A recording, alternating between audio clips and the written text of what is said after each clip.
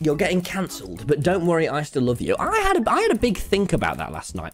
I think I realized recently, I just like, I never, I, I whenever you know whenever i say a joke the intent is never ever like i'm never sat thinking you know what i want to do right now is offend someone you know what my goal is is to is to make someone angry so i'm really sorry if i ever do it and sometimes it like some very rarely there might be a time where i think you know what like I, I don't agree with that you're getting upset right now and i'll ignore it but like I'm, I'm, I'm, I don't try and make offensive humor. So I'm really, like, again, I'm really sorry about my, sorry, someone said the word able sisters, and it was like, you know, like in Up when they say the word squirrel, and you're just like, oh, shit, threw me off.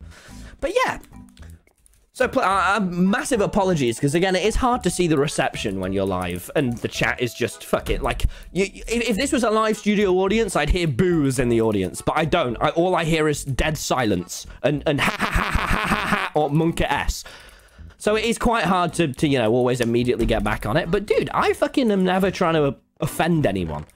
Like, I don't I don't want to make it jokes that upset people. Every, everyone, when you're watching this stream, should be like, yeah, this is cool. Like, if he if I met him in person, he'd be okay with me. Because I would be. Because I don't want to offend anyone, you know?